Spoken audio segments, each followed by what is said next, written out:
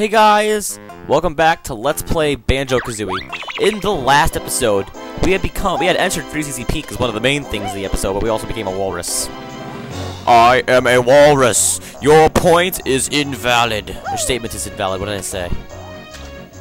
Oh my god, I just ruined that quote. I hate- I've actually, like, speaking of ruining quotes, I remember a while back I actually did a uh, Dolan comic on paper. And, uh, I don't think, think it's on the internet anymore. But uh, it was a really freaking stupid one.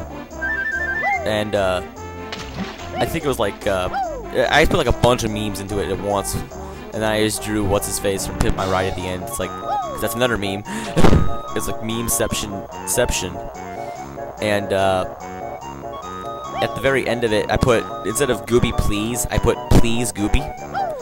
And like, I never noticed I wrote that. Like, I, I don't know what happened. I like nonchalantly wrote please Gooby. And like, I looked at it later, and I was like, oh, what the fuck did I just write? I just fucking ruined fucking Dolan. Hey, Mr. Walrus, fancy a race? Hop onto the sled if you do. Okay. Get, get on the sled, thank you. Great, now all you need to do is steer your sled through the red slalom gates and beat me to the end. Got it? Three, two, one, go. Watch out for the Yeti! I'm just kidding, that's, not real. Not in this game. Fun fact, I never actually played that game before. Is it any good? I know enough. I know enough about it. I've seen enough videos of it, but I've never actually played that game before. Over here. Get, uh. There we are. I'm ahead of him now. Jumping is like the secret to this. Also, you go up hills rather fast in this thing. I don't know why. I never explained that. Nope, screw you. Don't fall in the water. You don't want to fall in the water. Just gonna say that. That would be like your last wish in life. The last thing to be a wish in your life, not like your last wish you make. You'd never make that wish. Trust me. Falling in the water, I don't know if it's this one or the second race you do, but it kills your sleigh.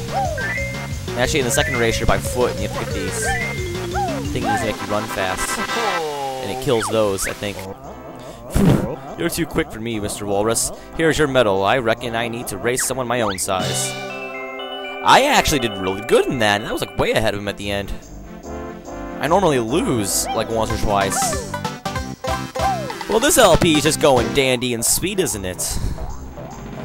There's Waz's cave again. So we're back in square one. And uh, I think we're actually done with the walrus. So we're way ahead of square one. We're actually about square 74, but we haven't moved past square 74 in a while. So, square 75. It's fucking Monopoly, people.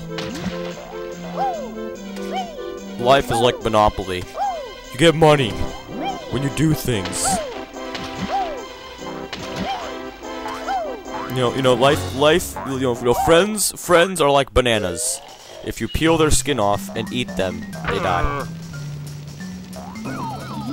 They were dead before you ate them. and we're Banjo again. Now, what's ironic is in this mumbo, mumbo, mumbo, bleh, mumbo hut here, um, you don't actually get boots to get across to it, but you get boots to get back. Which I think is hilarious. I don't know about you guys.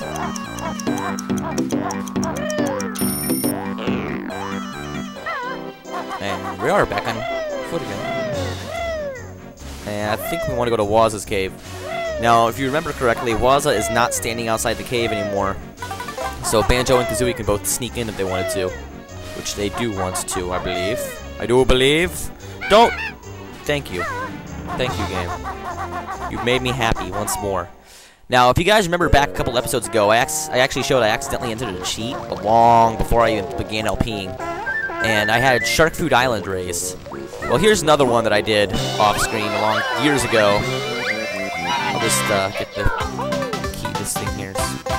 Now, you'll all have noticed the ice key back here. It's like the main thing anyone notices. Well, I've been back here, and I got. I'm actually going to show the stop and swap menu real quick. Just for you guys, for your own pleasure. And that's all I've gotten so far. and it's just like freaking stop and swap. Just I, I, want to show the stop and swap and how it works. But I don't know how I'm gonna do it. I'm probably gonna do like a slideshow with me talking over it because I can't really get the gameplay myself.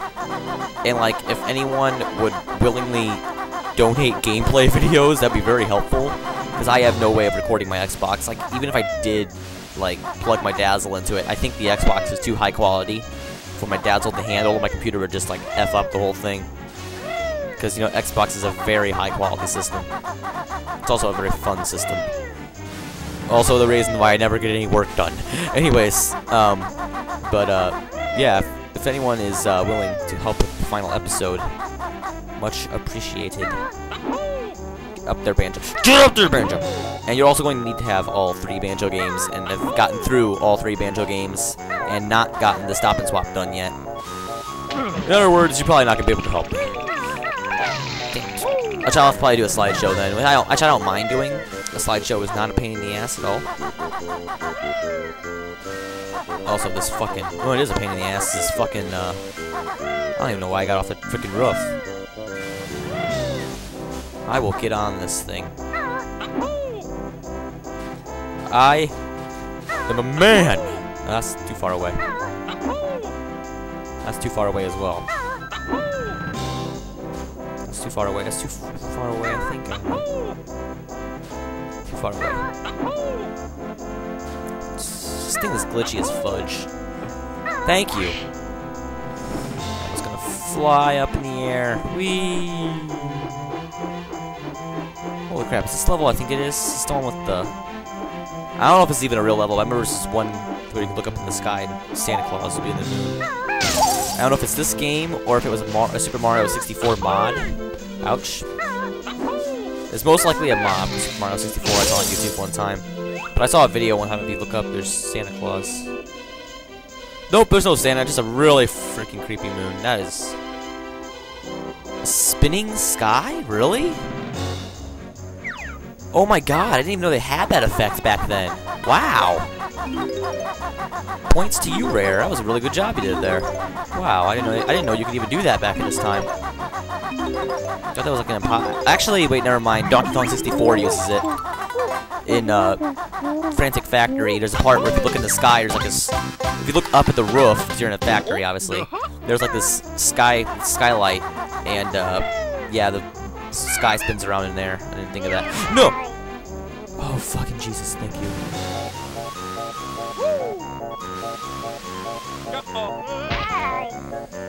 Oh, I'm almost dead.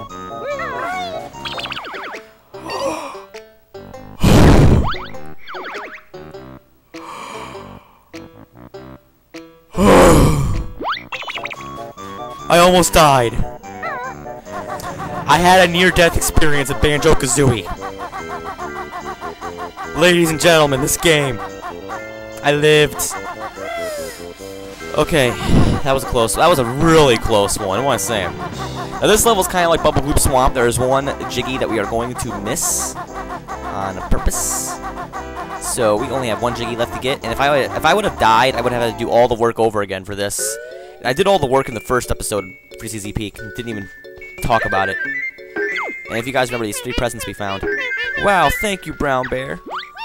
I just want to make a point saying, like, I don't know if I'm a freak for saying this or anything, but this sad version of the Freezeezy Peak song is freaking awesome. Right here is the best part. I don't know why, it's just like, with like the downbeat, it just sounds really cool. Yippee! Now we've all got presents. Here's something for you. And then it's this really shitty version that I don't like. Too happy. I don't know, the sad version of the song, not like, like, freaking, like, in movies when they do sad music, it never really, it's alright, it just sounds alright. When they do it in a video game, any sad version of a song sounds freaking amazing. Like in uh, Halo Wars with the credits, the Insignificantia. That is like the greatest fucking game song in history like, I don't know, freaking video games. One thing that I love about them is the fact they make really good background music for all of them. Also, that snowman's there now. Also, it's too early for this. And I think you can kill him, but I think he just drops like a, uh, I don't remember what he drops. It's not important, though. It wasn't like a jiggy or anything like that. Well, now it's time to go unlock a new level, which we're going to go to today. Or maybe not today, not maybe not right now, but.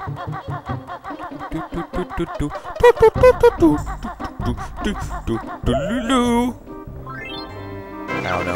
I don't even know, but little, whatever it is. I can see it's quite hard work. And then the sentence got cut off by the video, the cutscene.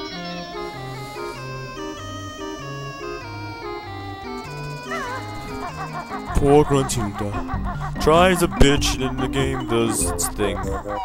Yeah, the rest of this area is like spoilers to a later level, which is like a haunted level, which I just spoiled. But I really don't want to spoil anything to uh, that level. It's really cool. It's one of my favorite levels of the game, actually. That's another thing I've always loved is haunted levels. I don't know why. Like, I feel like no game is complete unless it has a snow level, a desert level, a water level, and a haunted house level. It has to have all four of them things. In like a really grassy plains level, like Mumbo's Mountain. It's like not really like a grassy plains level, but it's got like a bouncy, grassy, colorful theme to it. Every first level needs to be something like that. Like Banjo-Tooie, you can tell they were trying to make like a direct sequel because it doesn't even start off in like a bouncy world. It starts off in like a Mayan temple world, which is cool. It's really cool being in a temple. I'm gonna commit suicide real quick if no one minds. What's wrong, Banjo? Is it tough? Let me know when you've had enough. Okay, that's better. You'll find one more move in here, Banjo. And then we're never going to see bottles again till the end of the game. It once rain. I'm shriveling up. How's your nut, Spark Breath? Kazooie, will eggs and feathers help? No. Need water. Help. Okay. Ladies and gentlemen, that is like PETA's favorite part of this entire game. Actually, I was gonna make a point. I was actually on uh, this one video, like I don't know what it was. Like this guy's, like it was like something. something I think it's on Ray William Johnson. It was like, but uh, it's like one of them things like people like playing like connected shit, and they like they accidentally hit their like kid in the face. But like this guy accidentally hit his dog in the face, and um, like some guy in the comments is like, "Oh, dude, you hit a dog. PETA's gonna be pissed." And he's like, "Oh no, PETA's not gonna be pissed. They're too busy worrying about Mario and Zel and Pokemon at the time." My nose is all blocked up. Okay, so some eggs. I don't know how that helps. Uh, uh, I I don't get how eggs helps. You know what, ladies and gentlemen, stuffing eggs up your nose is the new cure to a runny nose. Well, I guess if you're like a giant sphinx, the eggs would, like, the tiny little eggs would do something, I guess, but because your, yeah, you would, your body would detect them and try to sneeze them out. I think if a normal human tried to stuff an egg up his nose, it's either you're a superhuman or you just like broke your fucking nose into like three pieces or some shit, because that would be very painful. Still a cure to freaking uh, runny noses. If you get a runny nose, stuff an egg up your nose. Banjo Kazooie logic, people. Oh shit. This guy here is one of the worst enemies in the game. But there is a method. Let's not do it now. There's a method to killing him. Gotta get him fall over, and then ground. Come on, ground pound him when he's. Dang it! You don't try ground pounding him after you failed. This guy kicks my ass every time I play this game. I don't know why. Thank you. Also, remember I said earlier in the game that there's a part where can go kill enemies, and they're not like skeletons or robots, and they break. That was what I was talking about. If you look closely, you'll see there's like, like flesh parts sticking out when he dies, which is kind of gross. It's not like uh, there's no blood or anything. It's just, I think back at the time it was kind of lenient in those kind of things. There's a lot of things they were more lenient on back in the day. Now it's like, oh, you can't, you can't say kill anymore. That's a bad word. Now you gotta say defeat. You know, kill's a bad word. Now you gotta defeat your enemies. I mean, you can't just, you can't, you, you know, Batman can't just kill the Joker. oh, what game was it? Like, like, like, like I was watching Game Grumps. They were playing Mega Man. He's like, I'm gonna kill you, Wily. And you're like, holy shit. It's like, well, no shit, duh. Like, dude, like at the time they didn't ban those things, and I don't know. I just find it hilarious that they won't let you say kill anymore in a game. Like, I, I, I don't know why. Just it's it's funny to me. Like, like what is a little kid going to learn from the word, like just knowing the word kill, which they most likely already know what it means. I mean, it's not like it's not like a like a major taboo. At least in the United States, knowing what that word means. I'm sure there are countries though where it is like a uh, word that you should never say. Oh crap! Don't fall in the quicksand, Banjo. I've already missed like five things here, and I'm not even, I I'm not even going back for them until I'm ready. I'll this right now, get this out of the way.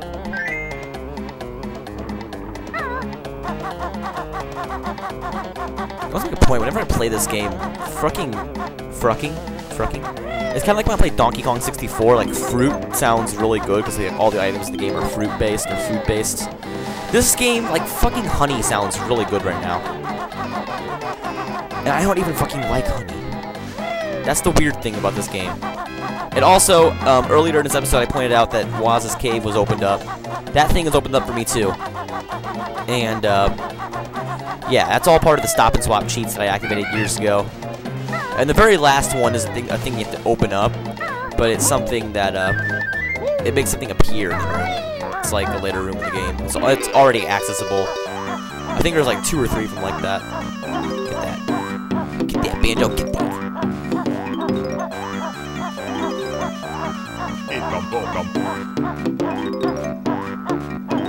But yeah, whenever I play this game, I get the idea like they programmed stuff into the game that at first they thought no one was gonna find. But then, actually, then again, they said that originally in Banjo Tooie they were supposed to tell you how to get to this stuff, but they never did. Oh, oh, they probably, they probably did tell you how to get to this stuff, and you just never get to see any of it. But.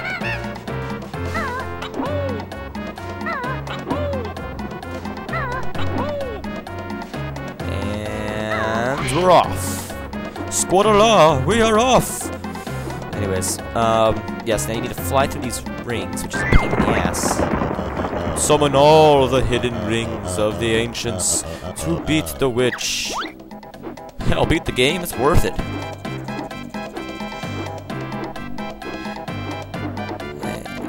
Here. It's the final boss, people. Even though there's no boss fight.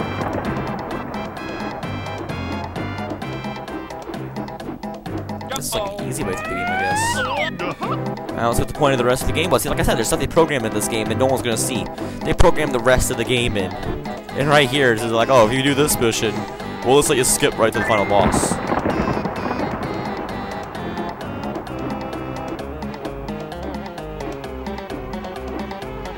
Go this way, go from behind. You can actually go in. Not gonna say it. Not gonna say it. You can actually go in from behind. You just have to go through the ring, you'll get a. Uh, no count.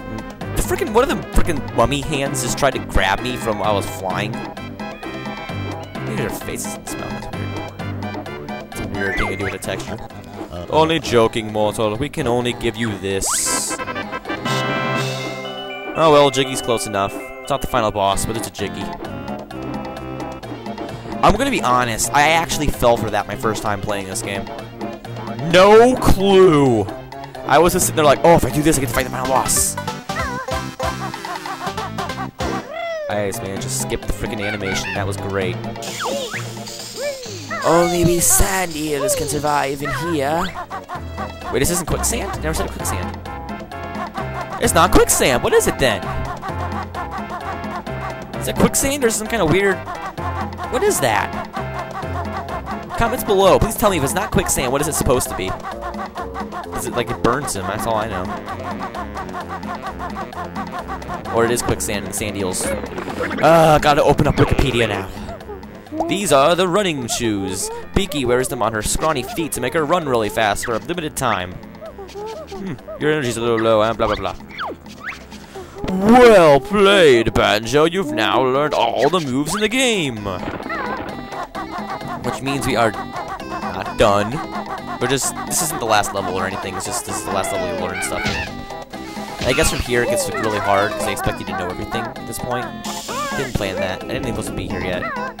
This guy's got a jiggy. Grabba's got a jiggy. Oh, he's got like a nerd voice. Grandpa's got a jiggy. No! Bears you now. He sounds like a fucking nerd when he laughs. The way I spell it, you can tell it's like a fucking nerd laugh. Oh, well, I'm gonna call it quits for this part of the episode. I'm just gonna. No! No! No! No! See you in the next one.